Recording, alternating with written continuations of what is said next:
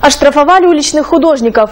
В последнее время разрисовывать стены домов стало очень популярно, и любители граффити используют любую подходящую поверхность для самовыражения, что явно портит облик шахтерской столицы. А в минувшие выходные стражи порядка задержали таких вот художников. Продолжит наш корреспондент. В нашем городе уличные раскрашивания стали появляться все чаще. Сколько бы сотрудники правоохранительных органов не пытались с этим бороться, граффитисты не перестают рисовать на стенах какого-либо предприятия. Например, 27 октября в 10 часов дня по улице Кривогуза, 21 на месте преступления были пойманы две девушки, после чего сотрудники Михайловского отдела полиции задержали и родителей уличных художников. В интересах следствия школьные инспектора не стали оглашать имена и фамилии задержанных. Возле дома были задержаны двое несовершеннолетних девочек.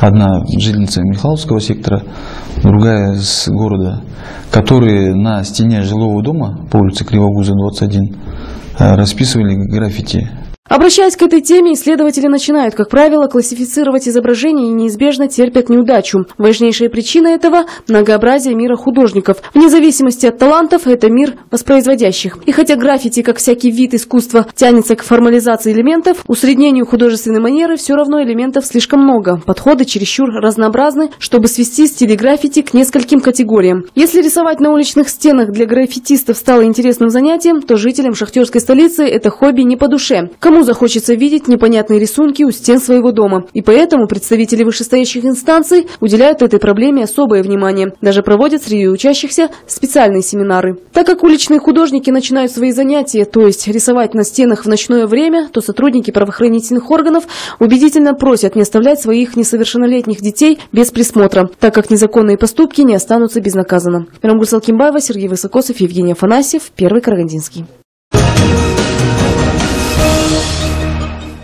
Спонсор выпуска новостей – компания Galaxy Group с торговой маркой «Алюгал». Компания Galaxy Group вот уже 18 лет является основоположником сектора производства пластиковых и алюминиевых профилей для окон и дверей в Республике Казахстан. И мы представляем вашему вниманию эксклюзивную продукцию казахстанской фирмы Алюгал. Алюгал производит алюминиевые профили широкого ассортимента и высокого качества, любой сложности и на заказ. Балконы, двери, окна, офисные перегородки и входные группы. Алюминиевые профили Алюгал – это современно, долговечно и престижно. Мы можем подобрать любой цвет, легко сборке и проста в эксплуатации, ведь продукция фирмы Алюгал адаптирована на наш климат.